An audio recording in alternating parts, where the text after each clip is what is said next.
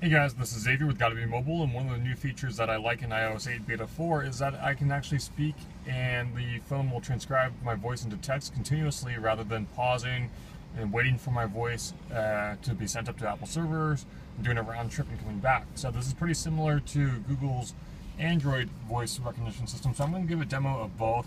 I'm going to hit the microphone button on each of these and start speaking and see what happens.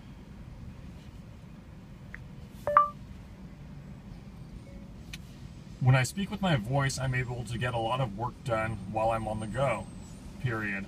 That means I don't have to use my thumbs to type, and I can actually speak with my voice faster than I can tap out messages and drafts using my thumbs, period.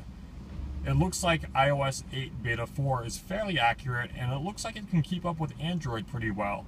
That's really impressive, exclamation point. So, as you can see, side by side, they performed almost exactly the same.